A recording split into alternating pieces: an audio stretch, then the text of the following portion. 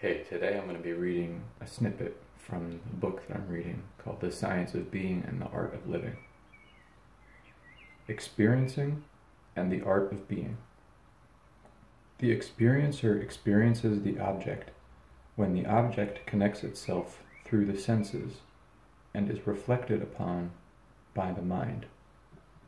The object coming in contact with the senses of experience leaves an impression of the object on the mind, and the essential nature of the mind of the experiencer is overshadowed. This shows that the process of experience is a process which throws being out of sight. This is called identification. It is if the subject within becomes identified with the objects outside and loses its essential nature, its being. Thus we find an experience brings the experiencer out of his own being. The art of being on the level of experience means that the experience of an object should not be able to overthrow the status of being from the mind. That is, the mind should be able to maintain being while experiencing the object. In the part on mind and being, we have dealt in great detail with how, by the practice of transcendental meditation, the mind begins to maintain the pure state of being alone with the experience of an object. So, this is a lot to unpack, but it's very interesting. Number one, what Maharishi is saying is that by using the practice of meditation, transcendental meditation, which I practice every day in the morning, I meditate for 20 minutes, and in the afternoon, I meditate for 20 minutes this practice allows us to see things for what they really are.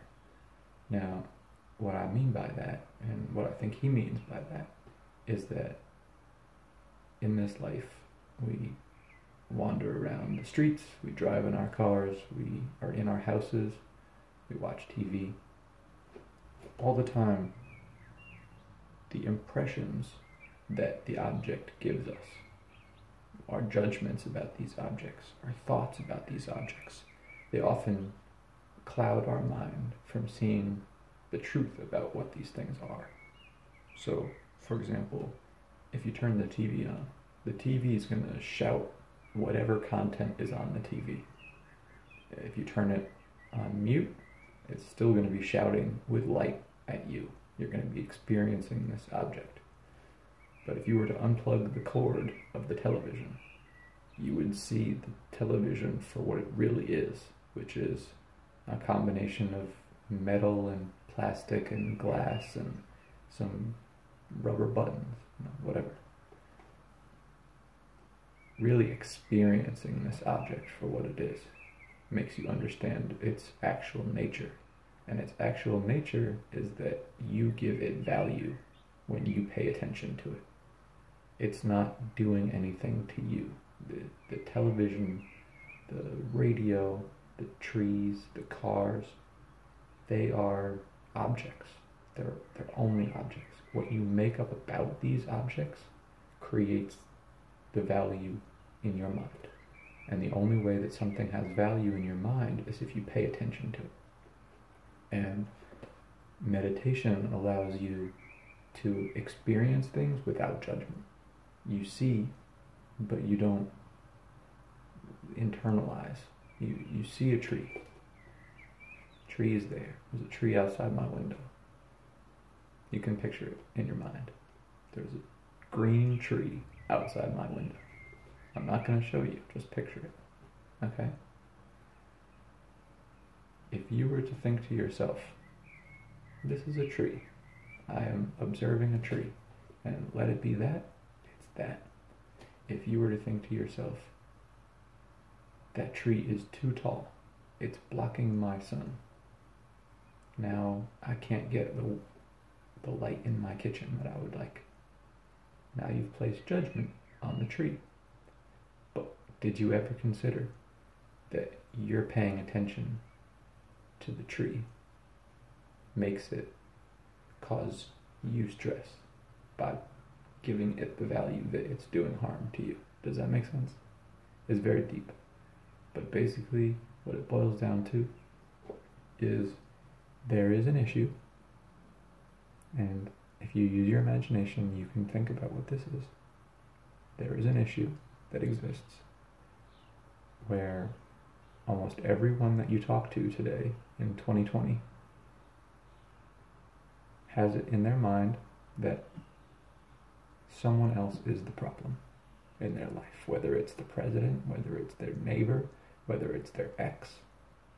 Someone else is the problem in their life. And what this is talking about is that that's a lie. The truth is that you make it to be the problem for you by paying it attention. You give it value by acknowledging its, its existence.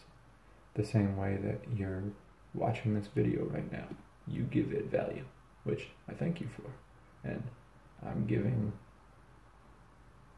myself and I'm giving uh, you and the phone and I'm giving all of these things value. And that's fine. As long as I don't start to make it the problem for me. The, the issue for us as humans is when we don't spend time in meditation, when we don't spend time in yoga, we don't allow ourselves the state of being, of just observing without judgment, just observing, just experiencing an object, and just saying, it is what it is. We start to say, but you know, if if this thing wasn't so like this, how are you going to change something's nature? That thing is there. Now what? The only choice you have is to not pay attention to it. And yeah, it might force its way into your life, at which point you get to make the choice whether you want to continue to allow it to bother you or whether you're going to understand that that's its nature. And the only thing you can do is find the peace in yourself to know that it does not make or break you. Only you do that. You have the power. That's the point of this. Objects do not have power over you. You have the power. And it starts by experiencing your being. It starts by understanding the very nature of being alive is to be. You're free to be. And how beautiful that is.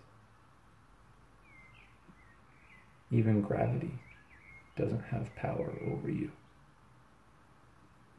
It holds you to earth. Okay? It shapes your bones. But its power is not more than what you allow it to have. Stay with me. Gravity affects what we touch. It affects our body. But it doesn't affect your thoughts, your mind, your sense of being, the eternal nature of love is not affected by gravity. The quality with which you treat people is not affected by gravity. It doesn't have power over you. You have the power. You are not confined to your body. You are one with everything. And that is the freedom which is brought by meditating and being and experiencing things for what they are, not for what you make them to be. See you next time.